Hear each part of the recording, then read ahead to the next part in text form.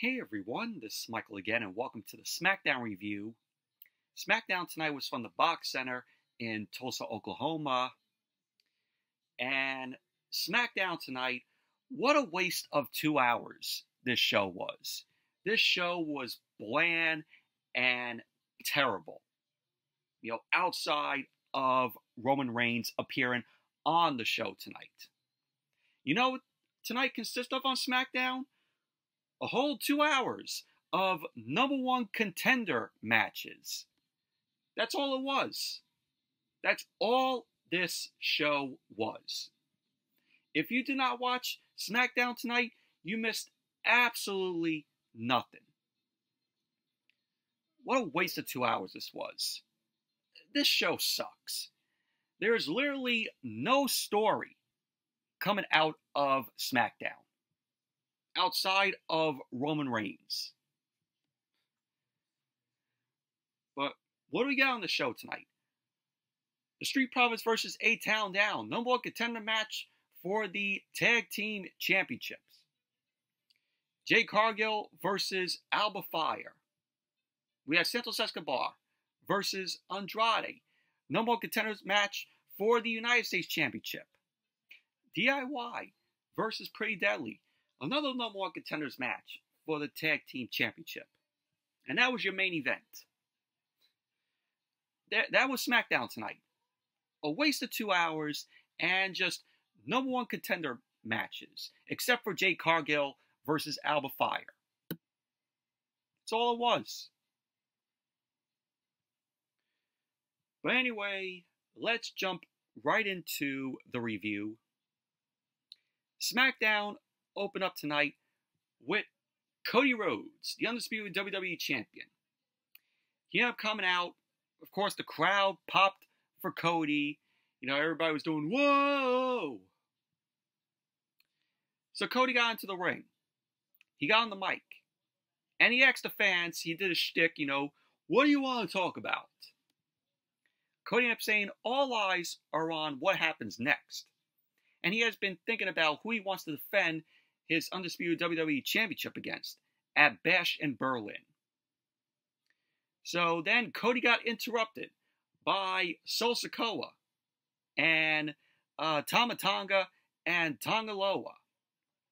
We did not see Jacob Fatu Mio on the show tonight because he is selling uh, the injury of what we saw at SummerSlam when he uh, ended up crashing through the table. But from what I heard, Jacob Fatu is not injured and he's just selling it. So I really thought that, you know, Jacob Fatu was injured from that spot at SummerSlam on Saturday. It looks like Jacob Fatu is fine, but he's off TV, you know, trying to sell, you know, the uh, the injury. So, so Solo Sikoa got on the mic. He ended up telling Cody that he doesn't care what he wants to talk about, but what the fans want to hear. Solo ended up saying that he wants to talk about SummerSlam, where had it not been for Roman Reigns, he would have been the champion. Sikoa ended up telling Cody that he will give him a rematch for the title. Cody then ended up telling Sikoa that it's because of Sikoa that Jacob Fatu is injured. He ended up saying that Sikoa is cosplaying as the tribal chief. So Cody ended up calling Sikoa delusional. So the bloodline got on the ring apron. Kevin Owens then jumped from the crowd and he came in with two steel chairs. So the bloodline ended up backing down, and Sikoa ended up telling uh, you know, Cody that he will deal with him later after he finds Roman Reigns. So Cody ended up telling Sikoa that he will be waiting for him. So the bloodline ended up heading to the back.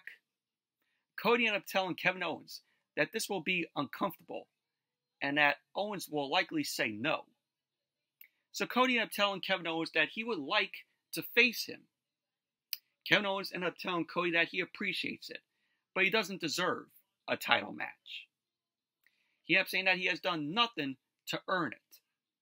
To which the fans end up chanting, You deserve it. So Cody ended up saying that he had a feeling Owens would say no. But Cody ended up saying to Owens that he didn't forget what he did for him. Cody ended up telling Owens that he can say no all he wants, and that he is going to talk to Nick Aldis, and he will give him all the reasons why he should face him at Bash in Berlin. So Cody saying, hopefully after his talk with Nick Aldis, he will tell him, see you at Bash in Berlin. So Cody up dropping the mic, and he headed to the back, and pretty much that was basically that. But we all know that this match is going to get booked, which uh, we uh, saw earlier in the night. So it's going to be Kevin Owens versus Cody Rhodes for the Undisputed WWE Championship at Bash in Berlin. And I'm like, this makes no sense. You gotta have Kevin Owens possibly turn heel, you know, at some point before we get to Bash in Berlin, or we're gonna have a babyface versus babyface match. You know, my opinion, it makes no sense. Do we need to see the match? No. So then we had Byron Saxton. Byron Saxton was backstage with the Street Profits, and B-Fab was with them. B-Fab ended up saying to Byron Saxton that the Street Profits are motivated, determined, and on point. Montez Ford ended up congratulating, sarcastically congratulating the Bloodline on winning the tag team titles. But the real Tribal Chief has come back. Dawkins ended up saying that it's been three years since they've had gold. And all that stands in their way is A Town Down Under. So, pretty much that was basically what uh, the Street Profits had to say. And then we had the first match the Street Profits versus A Town Down Under. This was a number one contenders match for the Tag Team Championship. And this was a decent match here. So Dawkins and Austin Theory start off the match. So Grayson Waller end up distracting uh, Dawkins, and Austin Theory end up attacking uh, Dawkins from behind. So we had both uh, Grayson Waller and Austin Theory end up taking it to Dawkins. Waller end up pulling Montez Ford off the apron and send him into the barricade. Dawkins end up punching away at Theory he upset Theory into the corner for a twist and avalanche. Dawkins started punching away at Theory, and he up upset Theory into the corner for a twist and avalanche. Dawkins ended up sending uh, Theory into the opposite corner. He had charging, but uh, Dawkins ended up hitting the ring post shoulder first uh, when uh, Theory moved out of the way. Wall and Theory then approached B-Fab at ringside, but Montez Ford ended up wiping both uh, Wall and Theory out with a somersault senton, which was cool. So then SmackDown went to commercial. Then when SmackDown came back from the commercial, Austin Theory was in control of the match. He ended up connecting with a Rolling Thunder drop kick on Dawkins. Grayson Waller then tagged in. Dawkins ended up fighting off both Waller and Theory. Dawkins then ended up punching Waller down, and Dawkins then hit Theory with an exploder suplex. Montez Ford tagged in. Ford ended up pinning Waller with a cross body block. He ended up punching Theory off the apron.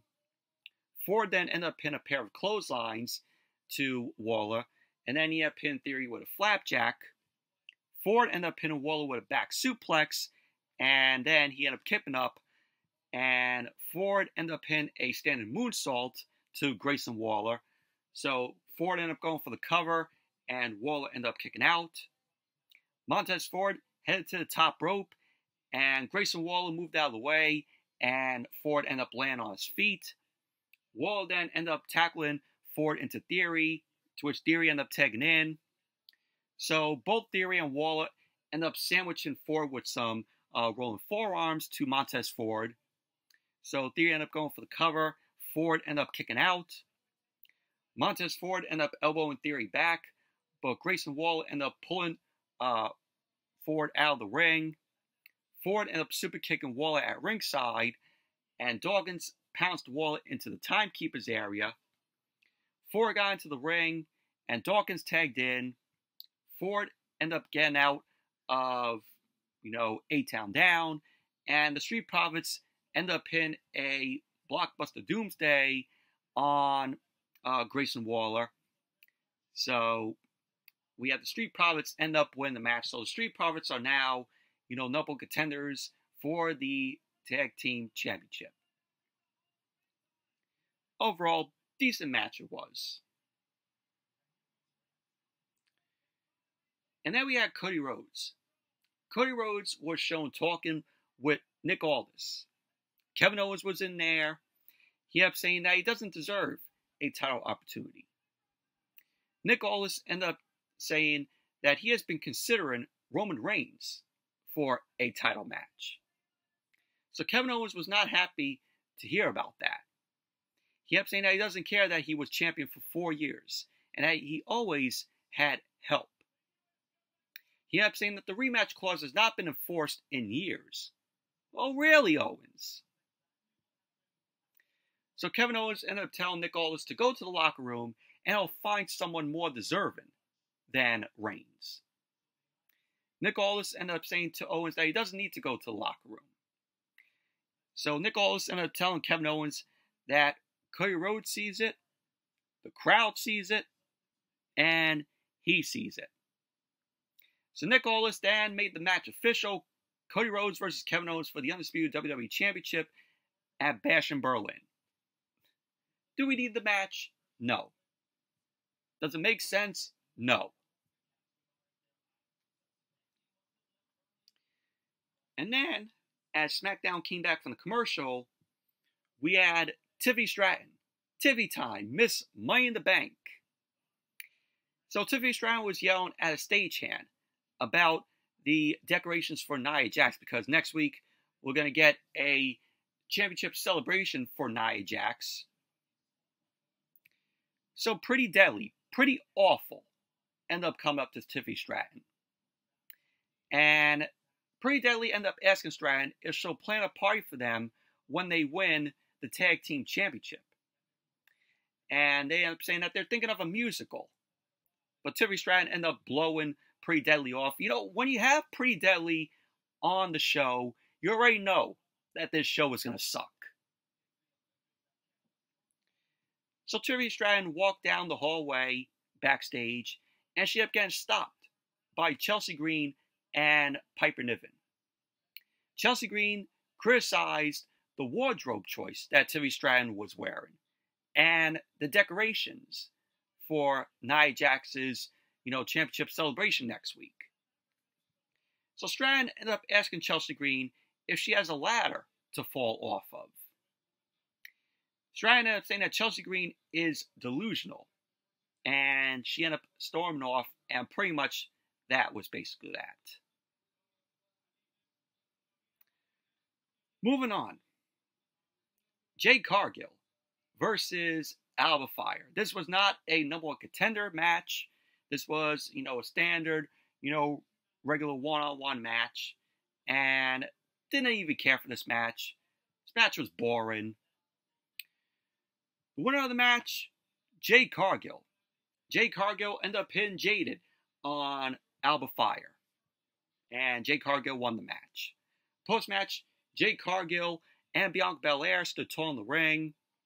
Blair Davenport ended up attacking both Cargill and Bianca Belair from behind.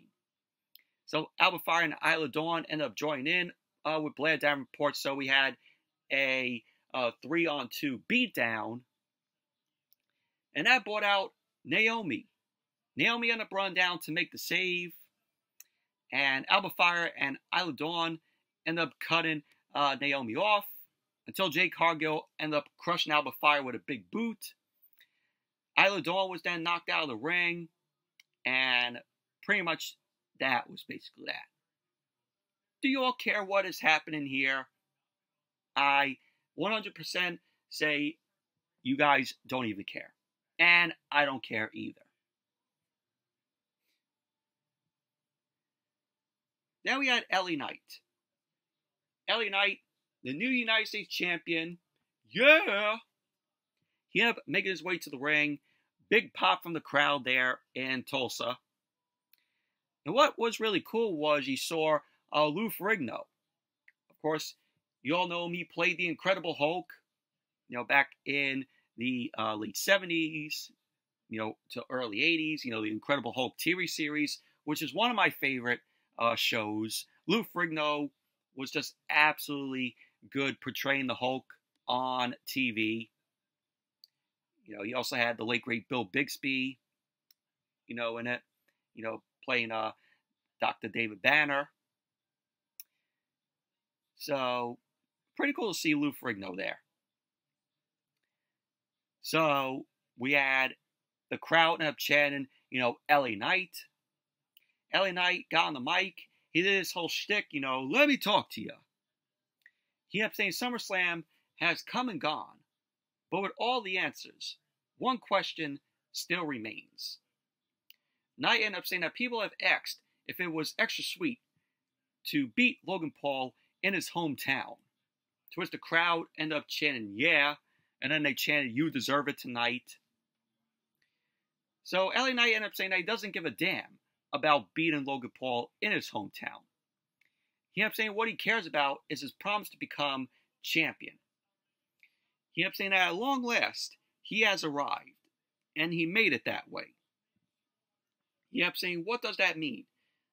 The United States Championship makes him a marked man. But now you end up saying that he's been a marked man since the day he came to SmackDown with a chip on his shoulder. He up saying that the game is the same, and he'll keep walking in, hit it, and quit it. So now up saying that you can't stop the undeniable. And that led to Santos Escobar end up making his way out. He made his way out alongside Humberto, Angel, and Elektra Lopez. So Santos Escobar sarcastically congratulated LA Knight. Escobar then got into the ring along with Elektra Lopez, Humberto, and Angel Garza. Escobar end up telling the crowd and LA Knight that they both suck. Escobar end up saying that it's not every day you get a guy like LA Knight finally getting a taste of gold. Escobar end up saying that Knight as a champion isn't something he is buying. He ended up saying that Knight will be in the spotlight for a fleeting moment, but it will all be an opening act to his reign. Escobar then ended up saying that this is a fact of life. He is the one who truly deserves to be the United States champion, with everyone saying, S, go, bar, C. So Knight ended up saying that he couldn't hear what Escobar was saying because Tulsa was telling him that he sucks. He ended up saying that Escobar deserves to be beaten by him. He ended up telling Escobar to get a shot at the United States Championship, you have to qualify, and that'll happen soon. So now you up saying that Escobar won't take the United States Championship from him because he won't let him. Knight end up saying that this is his game. So then Andrade made his way down to the ring, and SmackDown uh, went to commercial. So, but, you know, okay segment here with LA Knight. You know, just showcasing that he is the new United States champion and he beat Logan Paul at SummerSlam. And then as SmackDown came back from the commercial, we had a vignette of Giovanni Vinci. Holy shit, they found Giovanni Vinci. So, Giovanni Vinci, he has a new uh, gimmick change. You know, he's speaking in Italian. It almost reminds me of the gimmick that he had when he was down in NXT. So, he is bringing his relentlessness style to SmackDown. So, pretty much that was that. So we got a vignette of Giovanni Vinci. And then we went to the match. Santos Escobar versus Andrade. Number one contenders match for the United States Championship. You know, the winner will get to face LA Knight. And this, in my opinion, was the best match of the night. This was a good TV match here. So Escobar ended up whipping Andrade into the ropes. Andrade ended up show tackling Escobar down. Andrade ended up running over Escobar with a second shoulder tackle. Escobar then rolled out of the ring to recover. Andrade then wiped Escobar out with a plancha, and Andrade ended up putting Escobar back to the ring. So Angel and Humberto were lurking nearby uh, Andrade, and they started attacking Andrade. Escobar ended up attacking Andrade. He ended up going for the cover, and Andrade kicked out. So Baron Corbin and Apollo Crews end up running down. Both Corbin and Apollo Crews end up attacking Humberto and Angel. So Corbin, Crews, Berto, and Angel end up brawling into the crowd, and that only left Elektra Lopez at ringside. She was the only one there of Legado del Fantasma. So Andrade ended up kicking Escobar, and he headed to the top rope. Escobar ended up knocking Andrade to the floor. Escobar went to the outside, and he drove Andrade into the ring post. And then he put Andrade back to the ring. Escobar ended up going for the cover, to which Andrade ended up kicking out. Escobar then ended up sending Andrade into the ropes for a tilt-a-whirl backbreaker. Escobar ended up going for the cover, to which Andrade kicked out. Escobar then applied an armbar, but Andrade ended up fighting up. Escobar took Andrade down, but Andrade came back, and ended up chopping Escobar. Andrade booted Escobar in the face, and he headed to the top rope, but once again, Escobar ended up cutting Andrade off. Andrade tried to fight Escobar off, but Escobar was attempting a superplex. Andrade ended up fighting that superplex, and he ended up hitting a sunset flip powerbomb to Escobar, which was cool. So and then SmackDown with the commercial. So as SmackDown came back from the commercial, we had Escobar in controlled match. He ended up uh, locking in a camel clutch on Andrade. Escobar then elbowed away at Andrade, but Andrade hit the ropes and ended up hitting a running forearm. Andrade ended up hitting another running forearm to Escobar. He ended up going for the running double knees in the corner, but Escobar ended up getting out of the ring. Andrade went to the top rope and he had pinned a moonsault block to the floor on Escobar. So Andrade got Escobar back to the ring. He went back to the top rope to deliver a crossbody block and he actually did hit that on Escobar, and we had Escobar end up kicking out. Later on, you had Carmelo Hayes end up distracting Andrade. Escobar ended up trying to take advantage of the distraction by Carmelo Hayes, but Andrade ended up crushing Escobar with a back elbow, and Andrade went for the cover, and Escobar kicked out. Elektra Lopez was on the ring apron to distract the ref, Andrade ended up ignoring Elektra Lopez. He ended up going for the run double knees in the corner, but Carmelo Hayes pulled Escobar out of the way. Escobar then rolled Andrade up, and there you go. Santos Escobar ended up winning the match. And he is the new number contender to face LA Knight for the United States Championship. There you go. Well, overall, this was the best match of the night, in my opinion. Very good match it was. And then we had DIY, Johnny Gargano and Tommaso Ciampa. They were walking backstage. Tommaso Ciampa ended up saying that the Bloodline stole the tag team titles from them last week.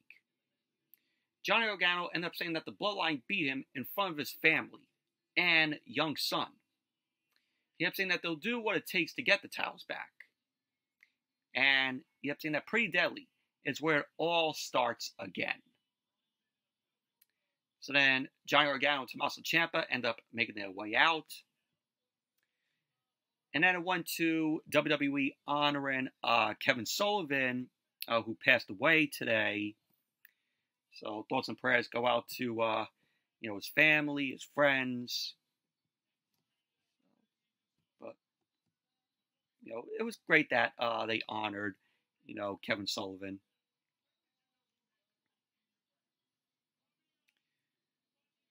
So then, as SmackDown came back from the commercial, we saw Austin Theory and Grayson Waller.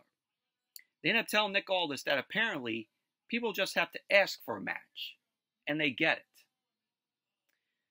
So Nick Aldis ended up telling Theory you know, that's a great idea because Grayson wanted Kevin Owens.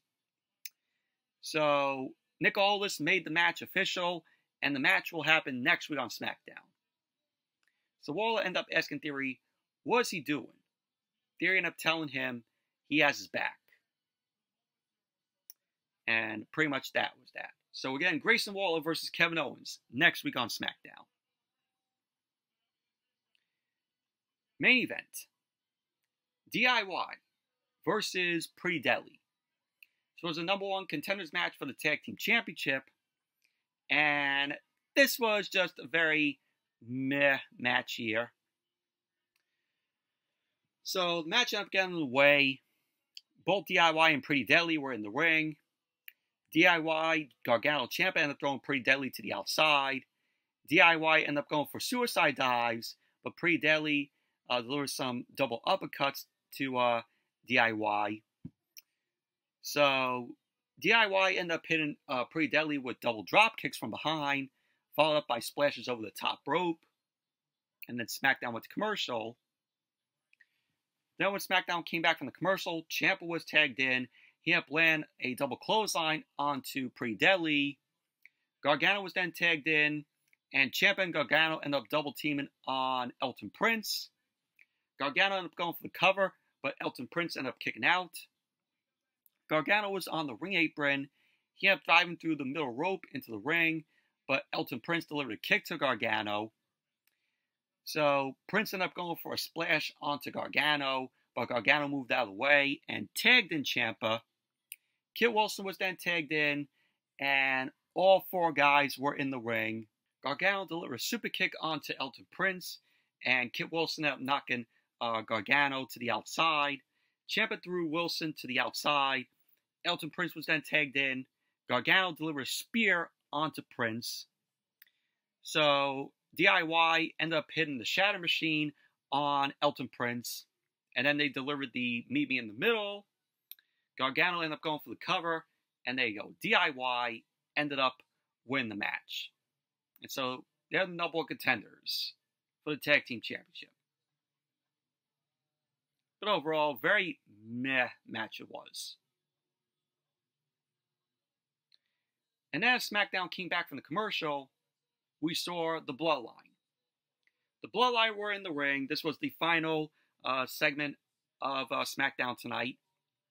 So Sikoa got on the mic, and he had telling the fans to acknowledge him. Fans were chanting, "We want Roman." Sikoa then ended up telling Roman that, in case he hasn't noticed, he is the tribal chief now. And if Roman calls himself the tribal chief and he wants the Ulafala back, he can come and get it from him. So Roman's music ended up hitting, and out came Roman Reigns. So Sikoa ended up sending Tama Tonga toward Roman, but Roman ended up hitting Tama Tonga with a clothesline. Roman then grabbed Tanga Loa and threw him into the ring steps on the outside. Roman then grabbed the steps and he hit both uh, Loa and Tama Tonga with the steps. Roman then looked at Sikoa, who was in the ring, and the fans started chanting OTC. Because, you know, Roman has, you know, the OTC shirt. So Reigns got into the ring. He had pinned Sikoa with some right hands, but Solo Sikoa delivered a big boot to Roman. Sikoa then ran towards Roman, but Roman delivered a Superman punch to Sikoa. So Roman was going for the spear, and uh, Tanga Loa ended up dragging Sikoa to the outside. Roman looked at the Ulafala that was on the canvas, and he grabbed it. But Tama Tonga hit Roman from behind. Tanga Loa got into the ring, and he up kicking Roman. Tanga Loa ended up grabbing the Ulafala and he gave it to Solo Sikoa, who was on the outside of the ring. Roman delivered a Superman punch to both Tanga Loa and Tama Tonga. Roman then ended up delivering a spear onto uh, onto Tanga Loa. Fans were chanting OTC. Roman then went to the outside and he speared Tama Tonga through the barricade, uh, which was great. Roman then grabbed a steel chair. He then ended up hitting Tanga Loa with the steel chair across his back. Sikoa then wore the Ulafala, and he had telling Roman that he is the tribal chief now. Roman then repeatedly hit Tanga Loa with the steel chair, and that was how SmackDown went off the air. Overall, I thought this was a good segment here. Uh, they could have gave Roman Reigns the mic, have him say like a few words to uh, Solo Sikoa, but obviously, you know, wasn't the case from what we saw here in the segment. But overall, what a bland show this was. There's no story coming out of SmackDown, you know, aside from uh, Roman Reigns and the Bloodline. What a waste of two hours this was. Just no more contender matches and Jade Cargill versus Alba Fyre.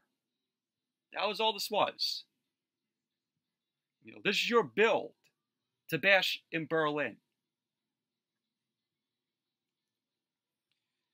But anyways, that's it for my review of SmackDown. Thank you all for watching. Hope you all enjoy this review. Definitely give the video a thumbs up, comment, subscribe, and until next video, I'll see you all later.